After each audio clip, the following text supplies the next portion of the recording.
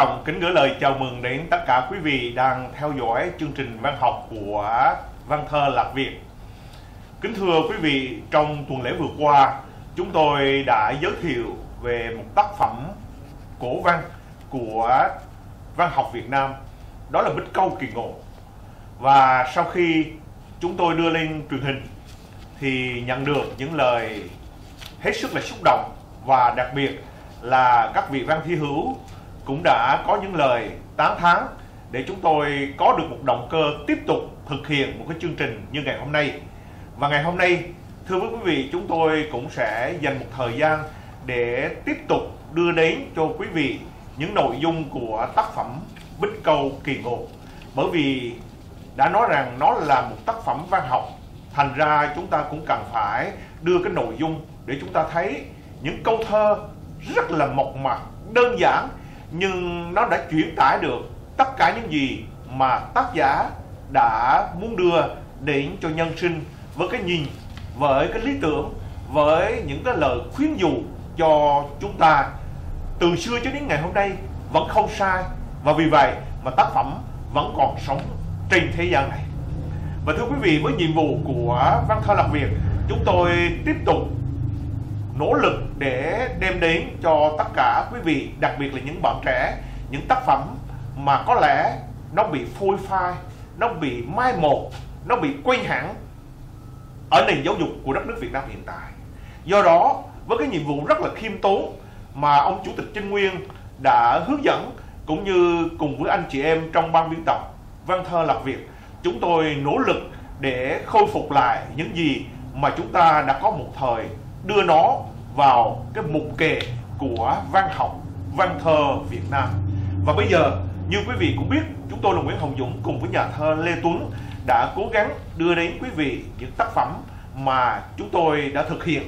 Và bây giờ, như quý vị cũng biết rằng, khi mà Trần Tú Yên đã trở thành một người ốm tương tư mơ tưởng, thì ông ngày đêm mong ước gặp lại một cái người dáng kiều yêu thương đó và liệu rằng người đó có được đến với mình hay không? Bằng tất cả những nỗ lực, bằng tất cả những thành ý, bằng tất cả những sự mơ tưởng đó, nó sẽ trở thành hiện thực. Bởi vì có người là một cục 500 có người là một sức hút, và có người là một từ trường. Điều đó có thể nó cho chúng ta cũng như vậy, và chính vì vậy mà chúng tôi rất thích bích câu kỳ ngộ. Và bây giờ chúng tôi bắt đầu với những gì mà nhà thơ Lê Tuấn sắp thưa với quý khán giả. Dạ, xin uh, trân trọng chào uh, tiến sĩ Nguyễn Hồng Dũng và trân trọng kính chào toàn thể quý vị khán thính giả. Và hôm nay chúng anh em chúng tôi lại tiếp tục cái phần 2 của Bích yeah. Câu Kỳ Ngộ. Thì cũng như phần mà tôi đã soạn lại và chính cá nhân tôi tôi cũng viết một cái tùy bút ngắn ngắn về cái câu chuyện Bích Câu Kỳ Ngộ. Khi mà năm 2014 tôi có dịp đi về uh, Việt Nam thăm lại từ Nam ra Bắc thì tôi có ra Hà Nội đến ngày Bích Câu tôi đến đích đó.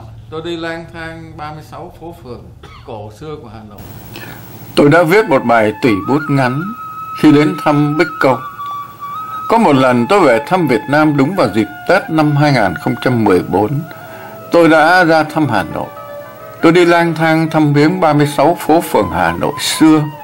Và Hà Nội hôm nay tôi đến phố Nguyễn Khuyến thuộc phường Văn Miếu Hà Nội Tôi đã quên mất câu chuyện tình Bích Câu Kỳ Ngộ, Nơi Trần Tú Uyên gặp tiên nữ ở chùa Ngọc Hồ.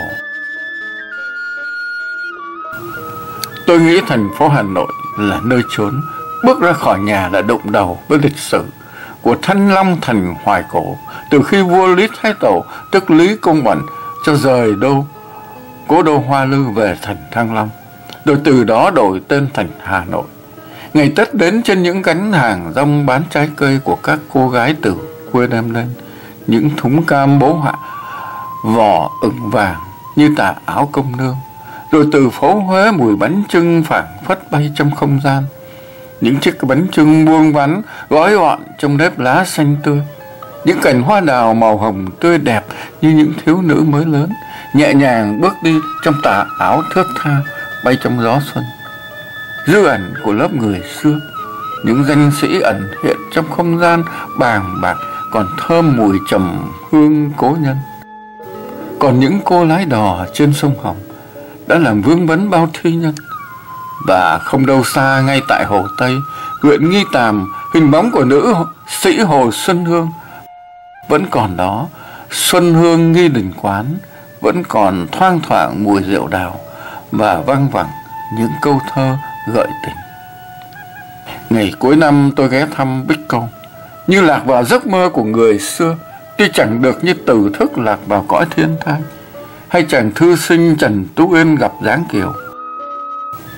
Tôi đi lạc vào tâm tưởng của chính mình, lang thang với nàng thơ trong một ngày xuân đến thăm Hà Nội. Tôi viết vần thơ lục bát gửi tặng đôi uyên nương trong câu chuyện Bích Câu kỳ ngộ. Cảm tác Bích Câu kỳ ngộ Chùa Ngọc Hồ lá thư bay, bài thơ chép vội trải bày tình riêng.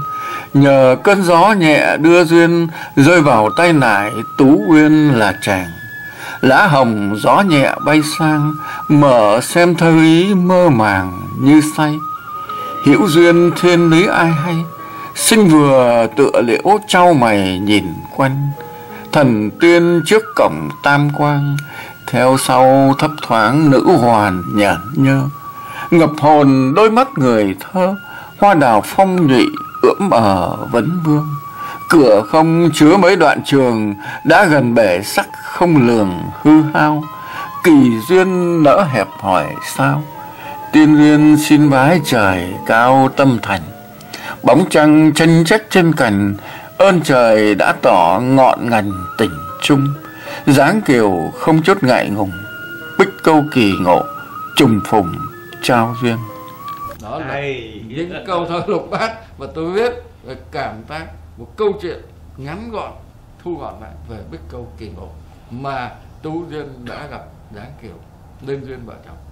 Đúng, đúng đúng đúng đúng là bích câu kỳ ngộ bích câu kỳ ngộ. Bởi vì cái sự gặp gỡ thật là kỳ bí nhưng mà cũng là một cái duyên lành.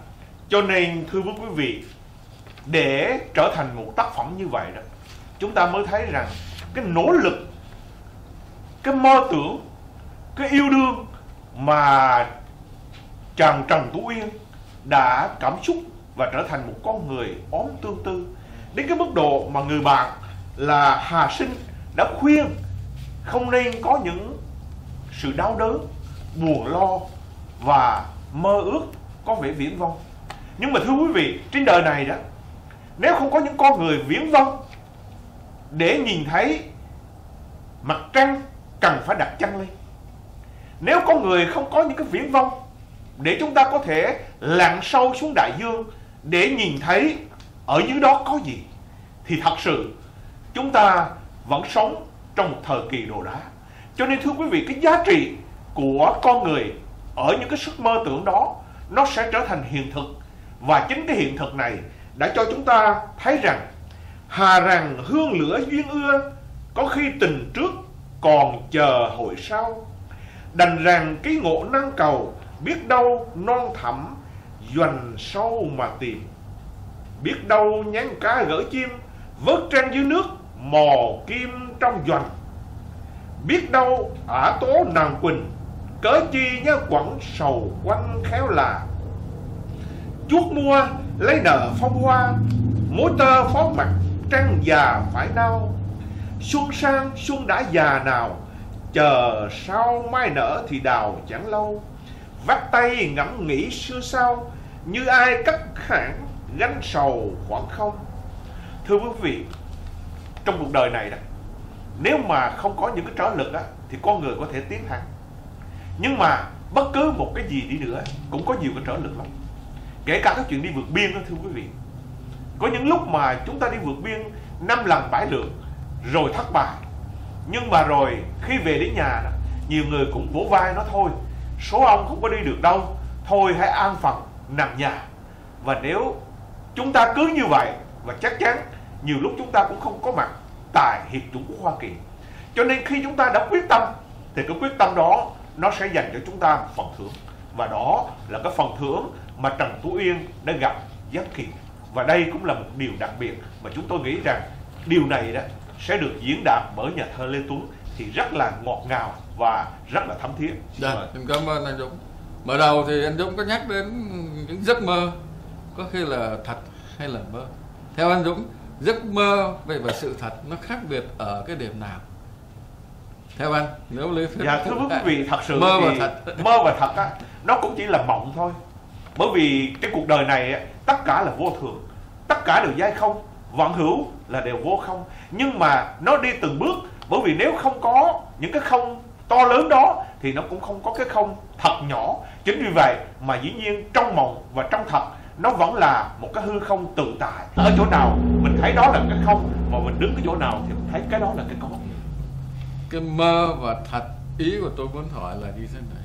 Cái mơ, trong giấc mơ và sự thật ngoài đời, đối với một cá nhân, nó hoàn toàn giống nhau hoàn nó không có một cái sự khác biệt nào với cá nhân đó thôi. Tôi mơ là cô đang sống với một người vợ thật đẹp. Thì trong giấc mơ tuyệt vời đó, tôi cảm thấy rằng nó như là sự thật. Nó chỉ khác biệt ở một điểm với sự thật là vì, nếu là thật, thì bên cạnh tôi đang có người vợ tuyệt đẹp đây. Vâng. nó sẽ được chứng minh thêm là giấc mơ của tôi hoàn toàn đúng. Bởi vì có nhân chứng để nhìn thấy. Nhưng trong giấc mơ không có nhân chứng để nhìn thấy, mà chỉ có cá nhân tôi nhìn thấy thôi. Thì mặc dù nó vẫn là thật đối với tôi. Đúng không? Đúng. Mà chúng ta, đời sống con người phải có nhiều ước mơ. Nhiều niềm ước mơ thì mới đời sống nó mới thăng hoa được. Tất cả những nhà khoa học gia, những nhà bác học họ đều đi lên từ những giấc mơ từ sự mơ ước của họ để Ừ. tạo thành hiện thực. Mà chúng ta phải công nhận rằng đó là sự thật đúng không? Thành ra qua câu chuyện biết câu kỳ ngộ đó tôi lại liên tưởng đến cái câu chuyện về hồn bướm mơ tiên. Đó hồn bướm mơ tiên là một câu chuyện của nhà văn khái hưng. Khái hưng nằm ở trong ờ, ờ, nhóm tự lực văn đoàn. tự lực văn hoàng đó. Thì ông ấy viết về một cuộc tình mà cuộc tình này cũng xảy ra tại một ngôi chùa Hồn bướm mơ trên là tác phẩm đầu tay của Khái Hưng viết năm 1933. Câu chuyện bắt đầu trong một cảnh chùa vào một buổi chiều tĩnh lặng. Chàng thư sinh tên Ngọc trong dịp nghỉ hè từ Hà Nội lên thăm người bác tu hành ở chùa Giáng Long. Trên đường đi lên chùa thì gặp Lan, một chú tiểu giả trai. Hữu cảnh sinh tình, Âu cũng là tất yếu. Ngọc nhanh chóng phải lòng chú Tiểu Lam. Cốt truyện tạo nên một sức hấp dẫn đến lạ lùng. Chú Tiểu Lam, một cô gái vì lý do đặc biệt nào đó đã phải giả trai tu hành. Khi gặp Ngọc, tình cảm của hai người cứ tự nhiên mà sinh sôi như nam nữ bình thường. Nhưng giữa họ bị cản trở bởi một bức tường tôn giáo chắc chắn, khắc nghiệt và không dễ dàng phá đổ. Trong tình yêu, sự hòa quyện giữa hai sắc thái nam và nữ tạo nên khoái cảm thân xác và hạnh phúc của đôi lứa. Thì tôn giáo lại hạn chế sự khổ hạnh về mặt thể xác. Chỉ có yếu tố tinh thần mới đem đến sự thanh thản tâm hồn để đem đến hạnh phúc thật sự. Sự có mặt của Ngọc đã đánh thức trong tâm hồn Lan tiếng gọi của tình yêu gieo vào tim nàng những lời ngọt ngào, yêu thương, êm ái. Một sắc màu của tình cảm được định hình trong màu áo cà sa đã ổn định trong một môi trường tu hành. Chú tiểu lan bị hai mãnh lực giằng xé, một bên là phật pháp, một bên là tiếng nói của con tim. Đến với ái tình, lan như được sống đúng với bản thân nhưng sự sâu thẳm trong tâm hồn nàng lại thấy tội lỗi với Phật tổ. Không khỏi những lần nàng tự dối lòng mình, đó là sự nhỏ nhen ái kỷ. Nhưng càng gạt đi, tình yêu ấy thì càng lộ rõ, càng xâm chiếm tâm hồn nàng. Lời Phật dạy, chiến thắng lớn nhất là chiến thắng bản thân. Trước những đợt sóng tình yêu cứ xô đẩy, nàng đã vượt qua được những giới hạn vô hình, dù nó có trần tục và rất mông lung.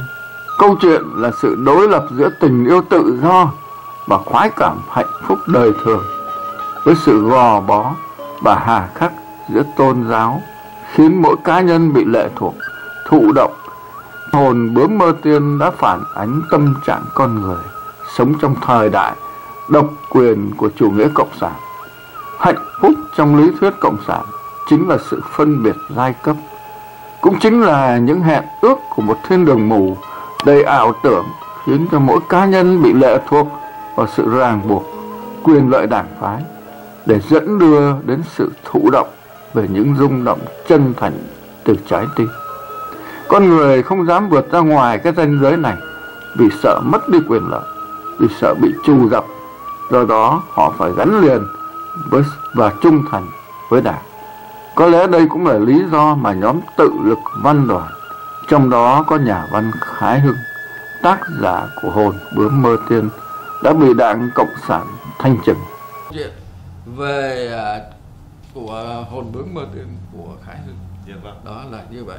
Thành ra chúng thể có dạ vâng. Khi mà nhà thơ lê tuấn nói đến cái chuyện mà thiên đường mù đó thì chúng tôi là liên tưởng đến một nhà thơ cũng là một nhà thơ nổi tiếng hữu loan. Trở lại với bích câu kỳ ngọ thì chúng ta thấy rằng đây cũng là một cái mơ ước thật sự cái mơ ước mà nó đi đúng với cái nhân quả thì nó mới tạo được chứ không phải là cái mơ ước viễn vông. Bởi vì hồi nãy thì chúng ta nghe nhà thơ lê tuấn cũng thường nói đấy thiên đường mù hay là những cái mơ ước hảo quyền thì chắc chắn nó không đến được. Nhưng mà trong cái thời đại của Khái Hưng của những năm 1930, 40, 50 đó là cái chế độ Việt Minh nó đang hoành hành. Vậy mà có những cái tác phẩm phá bỏ những cái giai cấp, phá bỏ những cái điều mà chúng ta thấy rằng nó trở thành một cái cổ hủ, nó trở thành một cái điều gì đó cấm kỵ, là một cuộc cách mạng. Một cuộc cách mạng rất là lớn để cho cái văn học nó được sống còn. Và chính vì vậy mà chúng ta mới tôn những người mà dám cầm bút như vậy là những văn hào. Chính chúng ta đã cảm niệm Khái Hưng là một văn hào. Thưa quý vị, trở lại với Tú Uyên, thì dĩ nhiên Tú Uyên cũng có những cái mơ ước đời thường giống như chúng ta. Và chính cái điều đó, đó đã khiến cho chúng ta thấy nó rất là giống trong cái cuộc sống của chúng ta. Và cái điều đó nó làm cho chúng ta gần gũi hơn với cái nền văn học của dân tộc chúng ta. Trở lại với nhà thơ Lê Tuấn. Dạ đúng. Thì hồi nãy anh à, Dũng có nhắc đến nhà thơ Hữu Loan thì tôi có nghiên cứu cái về ông à, nhà thơ Hữu Loan. Bởi vì xưa chính tôi cũng đi tù lang thang ở ngoài mấy cái vùng uh, Sơn La làm cái im bay thì tôi cũng biết người ta nhắc đến ông này cũng nhiều. Bởi vì chính nhà ông Hữu Loan lại là một con người mà thật ra rất đáng kính trọng. Bởi vì ông Hữu Loan lúc đó với cái cấp bậc của ông cái chức vụ của ông trong cái cái quân đội nhân dân bộ đội nó cũng là những cái lớn lắm. Coi một cái ở trong cái tiểu đoàn. Dạ. thì ông có đi Hà Nội để họp cái gì đó sau cái cái vụ mà cải cách dụng đất, trong cái cải cách dụng đất. Ông trở về cái đơn vị của ông đóng ở liên khu 4 gần vùng Thanh Hóa đó. Thì ông mới nghe tin ông thấy cái cô gái cô gái đó là cái cô mà con gái duy nhất trong cái gia đình mà đã từng tiếp tế nuôi quân bộ đội ở trong cái thời đại mà đánh nhau đó. họ đã từng, mà chính ông ấy là người đã đến gia đình cô này để đóng quân nữa ông bà rất tử tế Nhận nuôi ăn nuôi thì bây giờ chính gia đình này bị ghép tội địa chủ. Và Giết. hai cả hai vợ chồng đều bị đưa ra đào sâu xuống đất lấy cày cày giết chết. Mà riêng cô con gái lúc đó 17 tuổi ngây thơ trong trắng không biết gì hết. Thì cái đám du kích đám mà đấu tố đó rồi người dân họ thấy vậy họ xin thì được tha không bị chết cùng với bố mẹ. Nhưng đi lang thang lách thách quần áo rách rưới đi nhặt những cái củ khoai mà họ bót bỏ sót lại ờ, lấy ờ, chùi cho vặt áo cắn để mà ăn. Thì lúc đó ông hữu loan ông là bộ đội mà có quyền thế lắm đấy nhá. Nếu mà ông không dám chống lại, ông về ông thấy rồi, ông bất bình quá. Ông thấy ông là một con người tự trọng, không phải là một con người có trí thức, có tự trọng. Chúng ta không thể quên vô ân bạc nghĩa vì một cái chủ thuyết vớ vẩn vô thần để hại một cái người mà đã từng giúp đỡ mình giống như là đã giết đi bà Nguyễn Thị Năm ở Dạ, một cái thị năm Ờ, Hải Phòng. Giết ạ. Ờ, tất cả những cộng sản là như vậy. Đem cả gia đình bố mẹ ra đấu tố vì, vì quyền lợi cá nhân. Họ muốn đưa lên một cái chức vụ một cái gì đó nhưng đối với hữu lan lúc đó là người đã có quyền hành rồi. Ông từ bỏ hết. Ông chấp nhận lấy cô gái này làm vợ. Và hai người sống với nhau. Một cách nghèo đói ông bị đuổi ra khỏi cái đơn vị bộ đội bị trù dập suốt một đời lang thang ở cái vùng núi đá. Và ông phải đi đập đá để kiếm sống. Và chính tôi hồi đó đi tù tôi cũng ở trong cái đội đập đá. Và chính tôi tôi có viết đấy. Tôi viết cái quyển sách là đội đập đá đấy. Chạy Đội tôi đập đập. Tôi có Khổ lắm. này của ông rất là hay. ra cùng đá để gắn em đi. Dạ vâng. đó. Thì ông Hữu Lan cùng với cô gái mà hồi xưa là con bị ghép địa chủ là vợ của ông. Hai người sống với nhau rất khổ sở ông ơi họ có Hữu Lan có một cái xe cút kít xe mà đẩy cái này này một bánh đó, một bánh. để mà đi lấy đá đập xong đi về. Nhưng tội công an nó trù dập ông tịch thu. Tịch thu luôn. lấy luôn không cho này làm cái đó. Ông mới phải gắn phải vác phải hành hạ mà cái cái thể xác của ông. Nó muốn trù dập cho ông đến chết và chính cái tên công an nó sau này nó đã kể lại bởi vì nó đã cho Hữu Lan biết rằng nó được lệnh phải giết ông. Nhưng mà vì nó mến tài, mến khả năng văn học, thơ văn của nhà thơ Hữu Lan và nó thấy ông này, con người rất có tự trọng, rất hiền lành. Không, nó không ra tay nữa. Nhưng nó phải thi hành những cái mà ở trên ở trên ra nó. Giống như nó tịch thu cái xe ở cái quang gánh của ông, lâu lâu nó lại tịch thu. Ông chỉ vác thôi. Nó không cho ông làm mấy cái đó để nó cho người ta thấy nó có thi hành đấy. Và cuối cùng hai vợ chồng sống với nhau một cách nghèo khổ. Vậy mà có 10 đứa con. 10 đứa con và sau này Ừ. mấy năm sau ngày mà năm 1975 á, cho nên là năm 80 90 gì đó có một cái đám một cái đoàn họ đến họ mua lại cái tác quyền cái bài bầu bài Màu thơ màu tím hoa sim mà được phạm duy phổ nhạc ông ấy nổi tiếng là nhờ bài đó. Về sau này nó không giết ông là vì cái màu tím hoa sim nó không muốn vâng, tiêu ông ok. giống như văn cao lại Thì, um, đó là như vậy. Đó là những cái câu chuyện mà và đó là số tiền lớn nhất trong đời Hữu Lan được chia cho 10 đứa con. Và tôi tôi đã đọc thấy cái cái cái đội đập đá này tôi thấy rất là cảm động Ừ. bởi vì mình được đội đập đá thì chúng ta sẽ thấy rằng nó như thế nào. Ví dụ như tại sao họ không có bỏ cái đưa cái tác phẩm văn chương bích câu kỳ ngộ vào văn học Việt Nam cho lớp 6, lớp 7 hồi xưa mình đã học. Dạ. mà chính quyền cộng sản họ họ không có coi cái đó là văn học. Họ xóa đi. Họ đưa những cái văn học của những người cộng sản giống Tô Hữu gì á. Tố Hữu. Ừ. viết giết giết nữa bàn tay không phút nghỉ. Cho ruộng đồng lúa tốt thuế mau xanh. Cho đảng bền lâu cùng dập bước chung lòng thờ mao chủ tịch thờ Stalin bất diệt Ừ. láo lếu vô cùng. vô ơn bạc nghĩa. Không? quên hết công ơn tổ quốc. Thờ mấy thằng killer mấy thằng giết người trên thế giới. Thờ Stalin nó giết hàng mấy trăm triệu người. Thờ làm gì? Thì cái đó gọi là Mà chưa hết. tầm ngưu má tầm má nữa chưa hết. Con người này còn phải ca tụng nhiều hơn nữa để được lên chức vụ để được đảng. Bồi lắm ông ấy viết yêu biết mấy con nghe con tập nói tiếng đầu lòng con gọi Stalin. Tại sao không gọi bố mẹ mà gọi Stalin? Để làm gì? Cái thằng đó ở bên Nga mà đâu phải ở Việt Nam đâu. Phải không? Láo vô cái cùng. ờ, cái láo léo và cái dối trá nó nằm dối trá đó. kinh khủng Dạ. mà nó vẫn đưa vào sách học. Rồi không có thương cha thương mẹ thương chồng. Thương mình thương một mà thương ông thương mười quên hết. Hết rồi. Hết Quên rồi. hết. hết chỗ nói rồi. công ơn cha mẹ tổ quốc. Vứt hết. Nó đưa hàng đảng lên trên đầu. Để chi mưu cầu một cái lợi ích cá nhân. Để muôn đời người ta sẽ nguyền rủa nó. Dạ vâng thưa với quý vị Đó là nói đến nha nói cái chuyện đội đập đá cũng như là nói đến cái trại tù thì nó hoài không hết đâu. Nhưng mà hôm nay chúng tôi đương nói đến cái ờ, câu chuyện của Bích Câu Kỳ Ngộ và vì vậy mà chỉ có lan man một chút xíu như vậy để thấy cái hoàn cảnh của đất nước. Tại sao mà những cái tác phẩm đặc biệt như là Bích Câu Kỳ Ngộ không được mọi người quý trọng và đưa lên trong cái chương trình giáo dục cho học sinh? Và thưa quý vị, để kết thúc cho cái chương trình ngày hôm nay, chúng tôi xin mạo phép đọc lại một cái câu thơ mà chúng tôi nghĩ rằng chương trình kỳ tới nếu có dịp chúng tôi sẽ đi sâu vào. Đó là Tú Uyên xem bó thẻ mà nằm mộng để thấy rằng trong cái giấc mơ của mình, trong cái ước muốn của mình, thế nào nó cũng biến thành sự thật. Chẳng đâu nhớ chuyện bóc tim tới đền bạch mã giải niềm cầu duyên. Khấn rồi ra góc tây hiên, ném hương tắt đỏ ngọn đàn nhỏ to. Bóng trăng vừa xé cành ngô dắt què dìu dìu, chan cù em em thấy người cao mũ rộng xiêm tay cầm thiết bản trang nghiêm khắc vời. Trước sân sang sảng dạy lời, rằng mai sớm đợi ta ngoài sông tô.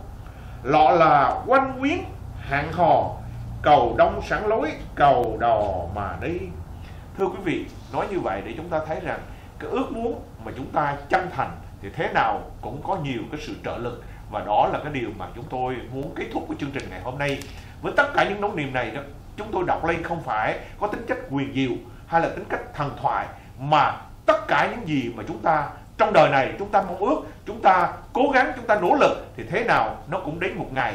Không đi không đến và đi thì sẽ đến. Đó là những điều mà ngày hôm nay chúng tôi xin mượn nơi đây để tạm thời kết thúc một cái chương mà chúng tôi còn dông dở và còn cho quý vị mời ông Dạ. tóm lược và tóm lược lại cái uh, bích câu kỳ ngộ thì theo tôi thấy thì nó xuất xứ uh, câu chuyện bích kỳ ngộ này á bích, bích câu kỳ ngộ á là sự tích đầu tiên là truyền thuyết về vua Thích, Lý Thái Tổ nằm mộng được Phật bà Quan Âm ban cho tám cánh sen trắng đó. thì sau khi mà tỉnh thức lại thì ông mới hỏi thì mới được biết cái hoa sen trắng là tại cái ngôi chùa cái làng gì ở trong cái thành Hà Nội đó, mới có. Và ông Bạch đã Liên. xây ra một cái ngôi chùa để để để thờ Phật bà Quan Âm tại nơi đó. Trung Cục á? Nha Dạ. đó, đó là lý lý công uẩn là như vậy. Bởi vì trong cái câu chuyện ờ, dân gian cổ của người Việt Nam chúng ta thì có rất nhiều câu chuyện. Giống như là bích câu kỳ ngộ rồi à, hồn bướm mơ tím đại khái vậy. Có rất nhiều cái câu chuyện mà trong dân văn học Việt Nam. Tất cả những nhà văn nhà thơ họ mới đưa vào đó một cái triết lý một cái nhân sinh quan tươi đẹp con đời sống tươi đẹp hơn. Nó nó sống chân thật hơn với trái tim của mình và đi đến một cái tôn giáo lành mạnh. Trong cái tư tưởng của Phật giáo vào thời bấy giờ nó khác hẳn với tư tưởng mà những cái cộng sản này đang gieo rắc cho thế hệ trẻ sau này. Dạ vâng. Mất niềm tin họ tất cả người dân hiện nay họ mất hết niềm tin.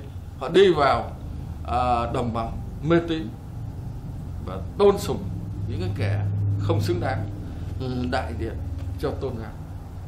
Và đến đây thì anh em chúng ta hết thời gian rồi. Dạ, xin vâng. à, à, trân trọng kính chào quý vị. Dạ rất cảm ơn quý vị. Xin kính chúc quý vị an lành. Dạ